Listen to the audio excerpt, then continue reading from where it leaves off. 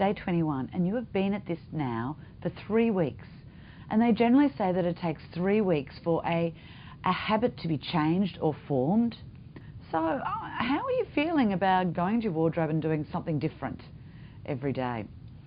Well, today we're going to focus on what's fabulous, what it is that you like about yourself the most. We've all seen a teenager who's got a spot here and they put makeup over makeup over makeup so you just don't see it. The fact is, that's what you see. And look at me, I don't have any jewellery on.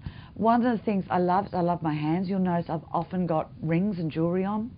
Um, eyes, so I'll do things with my eyes. Whatever it is you like about your body, that's the part I want you playing up. Don't sit there going, oh my God, you know, I don't like my bum or I don't like my belly or I don't like my boobs. So what do you do? By trying to hide it, you highlight it. So I want you to think about what part of yourself do you think rocks?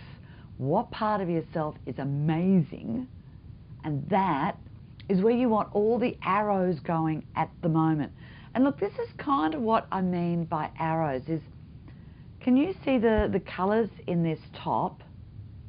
And you're thinking, why should I that freaky eye thing? Can you see they're the same colour as my eyes? When I was buying this top, slash you'll see another recording, it's actually a summer dress that I'm repurposing for winter. But when I saw it, I went, that's my eye colour. Now, there were three or four in my size on the rack and you'll see the, the pattern, I'll bring this, oh, you can see it here, there's a bit of kind of a, a yellowy green, um, a yellow, a, a brown, and depending what's under it, depends how it comes up. But I knew there was this sagey green in there. All of the others, because of the way the pattern was, when I pulled them out, all of a sudden I pulled this one out and I went, oh, it has my eye colour up near my eyes. I like that part. I'm going to buy that one. So this is things, when you're looking at dresses, when you're looking at patterns, look at where the patterns are because I call them the arrows. And if it's a big pattern and it's maybe on your waist and you love your waist, great, wear it. If it's a big pattern and it's sitting on your, your thighs, if it's a dress, and you're trying to take the eye away from there, that flower is not hiding it that flower's like a bride coming down the, you know, you've all seen, let me say, the, the television shows when they're trying to hide someone's pregnancy. And they might be holding flowers in front of their belly or books.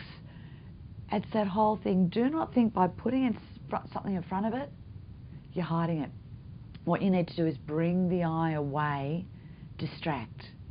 So today's challenge is to find the best part of your body and make sure you take the eye there. If it's your wrist, wear great bracelets. If it's a ring, your fingers, wear great jewelry. If it's your shoulders, wear stuff up here. Dress the best part of your body.